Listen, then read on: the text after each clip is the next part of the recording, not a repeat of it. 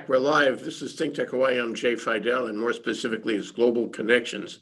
And do we have a show for you? We're going to talk today um, to Jindan. That's uh, Nina Mann. She's in California, and uh, she's a special consultant for Project Expedited Justice, Expedite Justice. And um, she works on war crimes and uh, crimes against humanity and uh, the like and we want to know why she got into that and what she is doing and what effect it's having. Huh? Okay, so let's let's go, Nina. How did you get involved in this, and why are you taking a PhD in it in the University of Amsterdam? Not everybody I know does that.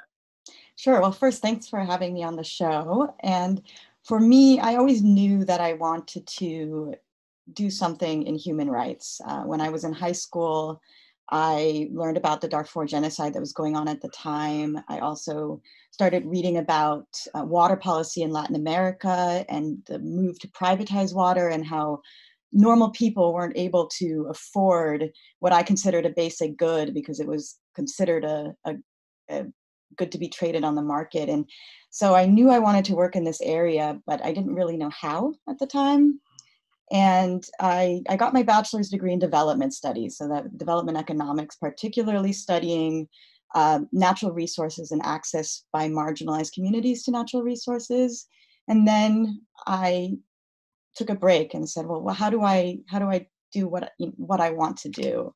And I lived in, in Latin America, in Santiago, in Chile, for three years. And while I was there, I, I worked for a big law firm that represented big multinational corporations, mining companies, and saw how powerful the law is and how powerful I could be as a lawyer in working on these issues maybe from the other side than what the corporation i mean the the law firm that i was working on um, does and that's what inspired me to go back to law school and pursue particularly a career in human rights law. Wow, fabulous. Okay, and now you're consulting with uh, Project Expedite Justice. Talk about that and Cynthia Tai. Sure. So in law school, I also discovered an area of law called international criminal law. And so international criminal law is specifically an international body of law that tries the most egregious crimes genocide, crimes against humanity, and war crimes. And I interned at a few different international criminal tribunals, uh, one in Arusha in Tanzania and another one in Phnom Penh in Cambodia. And through my boss in Cambodia, who also works for Project Expedite Justice, I made contact with Cynthia Tai, who, who's the director of that organization. Um, and then I went back to do a master's because I'm I'm always in school, and so I I did a master's. It was uh, at University of Amsterdam as well in international criminal just uh, criminal justice, and during that time also freelance for Project Expedite Justice, and I've been working with Cynthia since then. We've been um, especially working on projects in the Sudan, including a, a complaint we filed on behalf of children in southern Sudan um, who have been the victims of bombing campaigns. So. Uh, okay, well, you know, it, it, goes far and wide. It goes around the world. It goes to many kinds of crimes against humanity, many, many kinds of deprivation of human rights in so many ways. Uh, but today we're going to focus in on multinationals. And it goes yeah. back to your experience with multinationals. Um, so I want to talk about some of the things that you have had contact with and that you are concerned about and that you are either working on or you might work on in the future. And one of them is, is garments, garments in Southeast Asia. Can you talk about that? Sure. So this is, I think the garment industry is a really good example of the way that multinational corporations contribute in a way to serious human rights abuses abroad. So often um, you know the clothes that we wear they're produced in countries like bangladesh or cambodia vietnam um, and the garment factories they are very much influenced by what the fashion brands need from them so we have the big powerful European and North American fashion brands that want to produce high amounts of clothing, often new styles very quickly at a low cost as well. And so they exert a lot of pressure on their business partners in the global south. And you know, as as consumers here in the global north, we say, well, that's very convenient for us. We get cheap clothes, new clothes at a, at a constant rate. But the reality is is that on the production side, it often that practice leads to some pretty serious human rights abuses. So I think um, many people heard about the Rana Plaza collapse in 2013 in Bangladesh that killed over a thousand people and injured over 2,500 more. And one of the reasons why that factory collapsed is because um, the safety standards weren't upheld. And one can argue that it it was in part because of the pressures exerted on these factories to continue to produce and to produce and to produce without um, you know taking the time to stop and fix the buildings or um, ensure that um, there's sufficient exits for when, when there's emergencies um, similar things happen with labor issues in these. That certainly reminds me of the the uh, Triangle uh, Shirtwaist uh, fire in New York mm-hmm. in yeah. the, 19, the 19 teens, um, which um, where where women who were working in that uh, in that factory uh, had no way out, and when the when the selvage burned. Um, they had to jump out the windows, and they jumped out the windows by the hundreds and died on the street and mm-hmm. it, it would not have been recognized except for the press. Yeah. Um, and uh, as a result, uh, it became a turning point in labor in, mm-hmm. in the country and probably the world. But let me go back to what you were saying about the collapse of the, uh, the you know the factory in Bangladesh. And you mentioned that the factory was not up to standards, safety standards. Uh, were those Bangladeshi safety standards or safety standards from another jurisdiction that should have been applied? They were Bangladeshi safety standards, but another aspect is oftentimes in the in the contracts in the supply contracts there may be a sort of explicit agreement. So there is some effort on the part of the fashion brands or other um, companies to exert some pressure, but there's not a lot of enforcement or follow up. Yeah, the other thing I know we're early in the conversation, but another thing that strikes me from from that is that the whole fashion industry requires this uh, fast and cheap and, and um, cheap labor production facility. Uh, it could not exist in the way it does right now in the world uh, without that. So mm-hmm. Uh, the economic pressure is a is a is a is an industrial economic pressure. I mean the the fashion industry, um, and so if you wanted to fix this, what would you do? Well, I think what's lacking is the incentive to fix it. I'm, on the one hand, I do think consumers play somewhat of a role, but not enough. And what really is the l- missing link is the fact that because these, for example, the fashion brands are so remotely connected to the actual harm on the ground in Bangladesh, that it's really hard to hold what we see as sort of the very influencing, powerful actor in that equation accountable. Um, and of course, if we did have mechanisms to hold them accountable, I think that they would be a little bit more incentivized to exert more pressure on their business partners to ensure that human rights are eh, respected and protected in a different way. Mm. But at the mm. moment, the, the, there is not a sufficient legal structure to uh, really address these very remote connections, especially when they cross borders the law that applies often it's tort law domestic um, you know personal injury law essentially. It's not designed for these transnational contexts. Yeah so the the corporate structures and you know the the um, global arrangements uh, have developed, but the law has not developed to, to catch up. And by the way, those two words, um, incentivization and uh, accountability, um, they're going to be on the final exam everybody who watches this has to take a final answer. But good news is that it's a it's a short answer. It's it's a it's multiple choice, and it's only ten questions. Those two words are going to be on there. Keywords. yeah. Okay. Well, you had another example you wanted to give me. Can you can you continue? Sure. So another, um, I think, example that touches our daily lives is the example of conflict metals. So especially with the explosion of technological devices, we all have an iPhone in our pocket um, those cannot be produced without certain metals. And some of these metals are mined in countries that have very dangerous mines that use child labor, slave labor in order to extract the resources.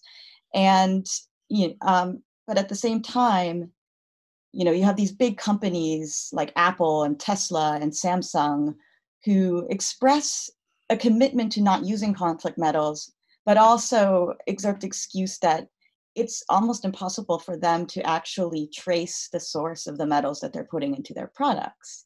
And so on the ground, especially the Democratic Republic of Congo is one of the uh, major countries where these kinds of abuses occur. Um, these abuses continue, but once again, that connection between the powerful, usually global northern uh, corporation and the harms far away in the global south is very remote. And there's and it and it creates uh, challenges Yeah. to It doesn't once have to be remote, though. It Doesn't have to be remote. I think they want it, they want deniability, right? Oh, in order to- In order to get it done, and they're gonna turn away and look away from what is really happening, or not make an effort to find out what is really happening. Um, Mhm. and again, we, we have incentivization for accountability um, to make them look and make them take steps. Because it's hard for you and people who are concerned about this to actually achieve a better condition in the mines. But for Apple and other manufacturers who use these metals, it's not as hard. And we have to make yeah. them do it. Mhm. It's not, but I think the excuse is also that the infrastructure in the places where the mining occurs is is very minimal, and a lot of the mining is done in an artisanal way. So it's sort of freelance miners who are entering these mines, um, and then yes, absolutely, there's a complex supply chain. So the metals are not sold directly from the artisanal freelance miner to Apple. They go through several, you, you know, partners, subsidiaries of subsidiaries um, before being sold to a supplier. And so these complex supply chains make it easy for the tech co- companies to exert, to, you know, to give the excuse, well, we don't actually know where these came from. But I do think that if they had an interest and if they had an incentive, as we talked about, then they could ensure that the mining practices are safer and are not using child labor and slave labor. Slave labor, this is the year, unless I missed my guess, we're in 2020 already. Mhm. 20 and 21 is coming soon. How can we have slave slave labor existing on this planet? Well, unfortunately, you know, at this point in history, there's more slaves in the world than there ever have been in the past. And that includes, you know, people who are trafficked, um, and also includes a lot of labor, uh, such as bonded labor. So they are given the opportunity to have a job, but are indebted to their employer um, because they, you know, provided them with housing or moving costs or those kind of things. And for many people, it takes them years, if not a lifetime, or even their children's lifetime in order to escape from that bondage. Oh, that's that's horrible. There's got to be a way to stop that. Now, the way to stop that, you would think, is by governmental action.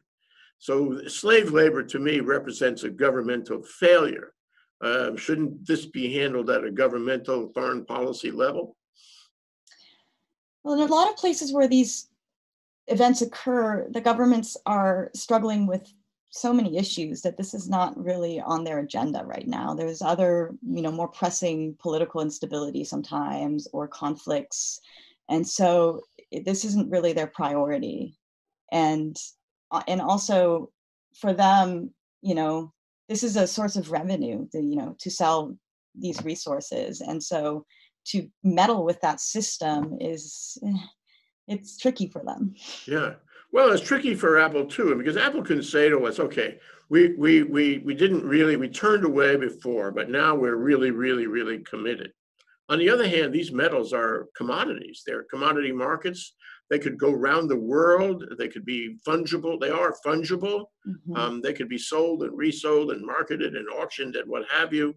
Um, very, very hard to trace them. And and Apple would be, you know, legitimate if it said, yeah, we, we just can't do it because we don't know what's happening there under the surface. So my question to you is, let's assume that Apple really wants to, you know, solve this problem. What could it do? What could it do to trace this in the commodity market and make sure there's no slave labor mining it?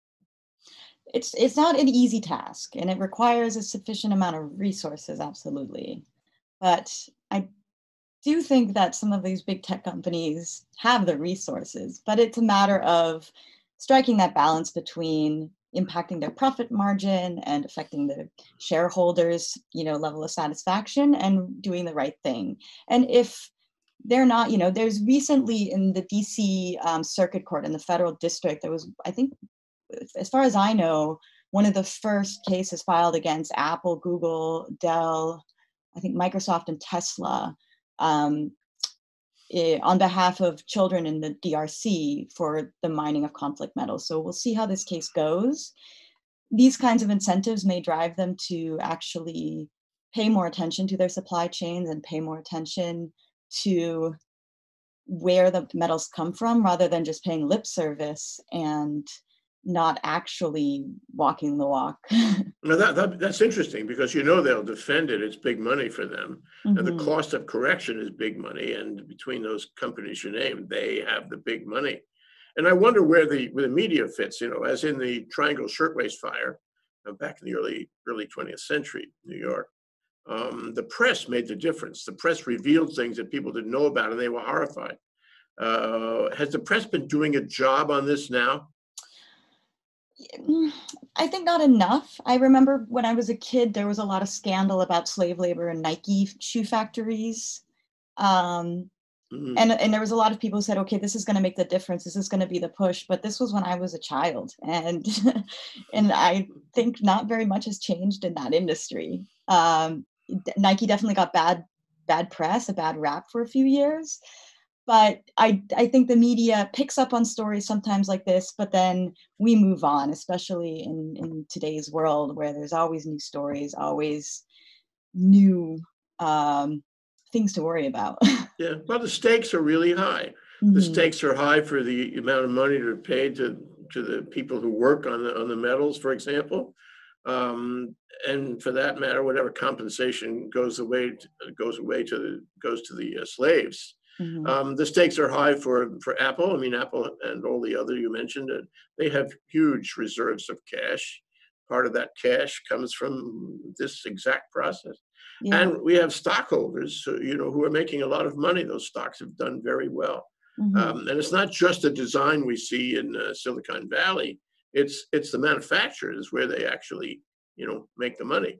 Right. Um, So you know, it strikes me that they have every reason to defend these cases, and they're going to defend these cases vigorously, and they're going to talk about. hmm, they're going to talk about those defenses of we don't know where it is, and they're going to be talking about. Uh, they're going to preserve the uh, or try really hard to preserve limitation of liability for corporations. And in my mind, that all raises the question of whether the corporate model, the capital model, the multinational corporate capital model that we have working in the world today is adequate to deal with the human rights violations that are taking place. Um, don't you think we need to change that model?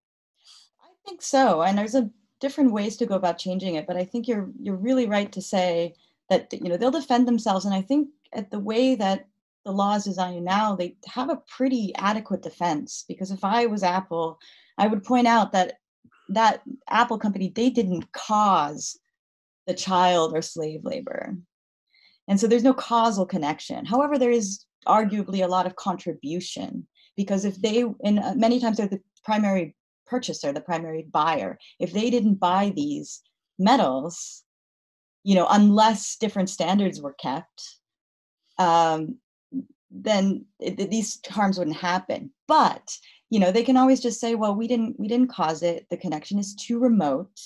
Um, I don't think that we can change the current corporate model, especially the transnational corporate model with the complex business structures of subsidiaries and parent companies where they limit liability among each other or you know very extended supply chains um, and they do have their benefits as well i think we can all agree that the reason that we've experienced so much economic growth in the last hundred years really is because of the way that we have creatively structured our business organizations. But if we are going to do that then we also need a legal system that matches it. In a domestic context we have it. You know if if if you encounter problems in the domestic context where a business is responsible for causing harm you can sue them Now, why can't we have that at an international level, especially in light of the fact that the kinds of harms we see internationally are much more grave? We're seeing, you know, crimes against humanity, slavery, genocide. Um, and so we should have the laws to match what the the economic reality is. Yeah, just let's take a moment and and uh, and and and parse that out.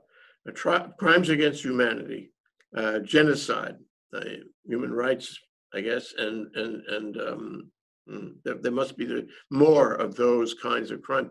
Uh, can you can you can you say they're all the same? Are they all connected? War crimes is another example. Are they all connected? Do we have to unpack that into different procedures, uh, proceedings, different statutes, different international agreements, um, or or they all merged somehow? Um, you know, in in the international, what do you want to call it, human rights enforcement? Mm-hmm. So a lot of my research is um, I'm trying to figure out a way where we can take these international human rights standards and um, and adapt them in a way where we can use domestic law um, so that they are a little bit more flexible. You, you can use the same domestic law. So, for example, argue negligence of Apple. Um, you know, whether that is because they are uh, supplying from a, supplier who uses slave labor or whether the factory um, where the supplies are getting from are, is, is protected by a paramilitary organization that is committing violent crimes against the local community or even um, in the context of environmental crimes sometimes. So that, you know, that's an idea that I have in terms of being able to use domestic law, existing structures to go after these crimes because international human rights law is fantastic, but it its challenge is it has a hard time with private actors and binding private actors. States are obligated to uphold certain rights. They're also obligated to, you know, investigate and punish violations that occur in their territories, but they don't sign. They don't sign the human rights. So it's very hard to enforce international mm-hmm. law. I mean, look at look at the uh, South China Sea's decision by by the court in The Hague. The Chinese, who are a, a member of that um, organization, law that I, am not sure what organization it is, but the organization that that gives right to the rise to that court, um, they blew it off, mm-hmm. um, and so it's very hard to enforce international law of any kind, including law of the sea. So I want to talk about the U.S. Alien Tort Statute. Let's refer to it as AIS. Or Because that's, that's a domestic, what is it not? ATS. ATS, I'm sorry, a federal law be used by human rights advocates. And so, um, you know, it seems to me that if, if I'm a multinational doing, you know, American multinational or a multinational with its roots, its headquarters, and its, you know, place of origin, what have you, in the U.S., that should that should pre- prevent me from doing human rights violations overseas. Uh, does it? Is it working? Does it need to be amended in order to achieve what you're talking about, a sort of transnational approach? Yeah, so the ATS is a very interesting law. It was enacted in 1789, and nobody's quite sure what the idea behind it was. It's a law that allows aliens, so non US persons, to bring a claim in federal court for, and this is an old fashioned term, the violation of laws of nations, which basically just means violations of international law. And it lay very dormant for many years. And in 1980, uh, a human rights lawyer realized wait a minute, this can be used for certain human rights violations. And since then, it's really experienced an explosion in federal courts as a tool to um, particularly go after corporations for their involvement in human rights abuses abroad. However, it, with time, and especially recently, its scope has been narrowed quite a lot. And so in 2018, the Supreme Court heard a case where they decided that foreign corporations cannot be sued under the ATS. And the rationale behind it was that the foreign defendant in this case, Arab Bank, um, worked closely with foreign governments and Therefore, if the courts were, able, were allowed to render decisions on foreign corporate activities, that would implicate foreign policy in a way that would actually impact the separation of powers, because it's up to the executive branch, the president's branch, to engage in our foreign relations. Hmm. So it's a very And the interesting president at the time was your, your friend Donald Trump, as I, in in 2018. In 2018, yes. But even before that, there was a lot of efforts and there was a lot of sort of, um, there was a case in the Second Circuit of the New York um, court that also said no corporate liability. So there's been a lot of push to limit corporate Does that, does that work, Nina? I mean, uh, stand aside. Don't, don't be a human, human rights uh, advocate for a moment. Just, Mhm. just be a lawyer who knows all the things you know.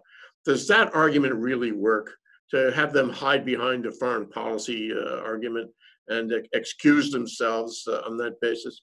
I don't think so. Um, and you look at other jurisdictions. Um, so, for example, Canada recently had a really interesting case where they allow foreign law to be used for tort claims. And you look at European jurisdictions that allow both civil and criminal cases to be brought against foreign corporations. And there seems to be a pretty comfortable approach, you know, they're, they're pretty comfortable with allowing that. I, um, the way I see it is, I think this was a, a, a way to limit liability. No, it's- it's Um, troublesome because it troublesome because it has constitutional overtones to it. Um, and if that if that argument prevails and on a, on a plenary basis, well, wow, it, it- you know we've we've been cut off from enforcing um, that international law against companies that are American or do business in the U.S. It's very troublesome. So let's assume it's right for a moment, uh, mhm. and I would like to think it's not. I agree with you, but what then is the is the uh, is the mo? How do you proceed against this kind of violation um, in the absence of a statute like the ATS Alien Tort Statute? Well, there, there's at least one other statute I can think of off the top of my head, which is the Anti-Terrorism Act. So if there are crimes that are related to terrorist financing, that's an that's a way to um, you know get these into courts. But what I'm really exploring is using more sort of common tort law, so especially negligence, which is the law that's very often used when there's an accident or um, you know some sort of personal injury situation. And I'm curious to see whether we can make the argument that this, these companies have a duty of care. So, for example, you know, Apple owes the the employees and miners in DRC a duty of care, and when they breach that by exerting pressure and creating this situation in which um, you know there's a demand for very cheap metals, you know, maybe there's a way to to start using the law creatively. But this is an area that's very underexplored and um, and still needs to needs a lot of work. Yeah, and there's also the possibility, is there not, of uh, using the law of, of other nations uh, in the, the courts of other nations. Mhm. Um, it's it's not beyond an American lawyer to go to the courts of France, for example, and enforce um, international law or French law against a multinational there, which may give you more leverage. Am I right? In some cases, yes, particularly if it's a, but it, it depends if there's jurisdiction. So uh, often, you know, multinational corporations, they have their domicile in another country and you can definitely go to those countries. However, if you're going to countries where the harm occurred, a lot of times the available defendant is the, for example, subsidiary company. And the problem with that is oftentimes the parent company in when it face when its subsidiary faces a lawsuit will just dissolve it, dissolve the, the subsidiary or empty its coffers so it has nothing to give. Um, and so that's why it is desirable to go after the you know the the top level actor that cannot run away, cannot just dissolve and, and disappear. Um, but definitely if there is jurisdiction, so if a company is based in another country, for example, there's a big case in the Netherlands against Shell um, for harms in Nigeria, or also a case in France against uh, BNP Paribas for harms in um, allegedly that occurred in the Sudan. Well, you know, it's really all about um, holding their feet to the fire. Feet to the fire is also going to be in the final exam. Uh, and I and I just uh, wonder. I mean, at the end of the day, the way people in general, maybe not you and me, but uh, or Project Expedite Justice sees it, um, the way people see it is um, um, there's a- at least a balance here because we have to keep on doing business. These multinationals are not only making a profit, they're providing goods and services, uh, they're filling um, needs of the people on the planet. Um, and so we, we can't be um, too heavy handed about uh, throwing them out of school. We have to find a way to do this in kind of in a nuanced fashion. Do you agree with that? And what is the nuanced fashion if you do? I do agree with that. I think that that is a it's a really important balance. The world looks the way it does because we have allowed international trade to flourish, and we are in a lot of ways better off. But at the same time, I think we can all agree that when we hear about these cases, about these situations in which harms are occurring just because we want cheaper clothes or a new iPhone, our gut is to say, well, I think these powerful actors should be responsible in some way. And you know if there is a mechanism to hold them responsible maybe they will change their behavior. Yeah, you know, for, years uh, years back, I, I'm I'm not talking about more than say ten or fifteen. There, there's been a move to um, to encourage investors to invest in impact investing. In other words, you don't invest your money in companies that do violations of of fairness and equity and um, you know and human rights. Um, and I don't know the status of that now. I don't know how much leverage they have or they can get with the investing public because the investing public in large part wants to make a return on its investment. They're not too concerned about the impact aspect. But what about that? Is that a viable way to, you know, weigh in on this?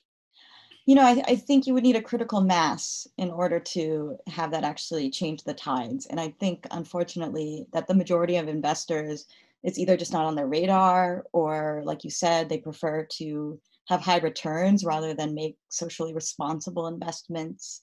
So even though there are investors who do take the time and do you know um, care about where their money goes there's enough that don't. And as long as there's enough that don't um, i don't think behavior is going to change.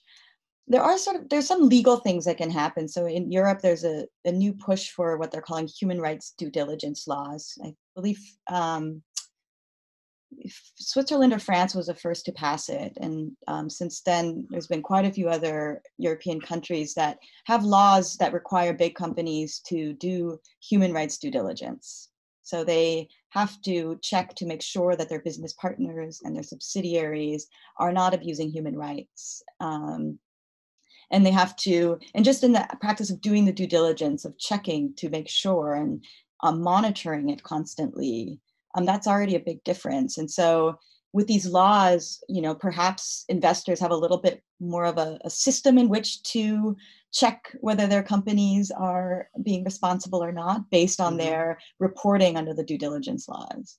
Yeah, and derivative um, suits, I guess. Uh, and so, you know, you need to hold the, the directors and the and the management responsible. Otherwise, the thing disappears behind the corporate veil, Mhm, and that's a whole new discussion we could have. I mhm. think uh, you know one thing is um, um, that that people who are interested in uh, human rights in this planet, uh, they need to get on shows like this one and talk about it. That's what I think, and therefore I think we'd like to do some more shows with you and and follow uh, your adventures in in uh, in so many places around the world. Thank you very much, Jindan Mann. We really appreciate your coming on. Well, thank you so much. I've really enjoyed chatting. Aloha.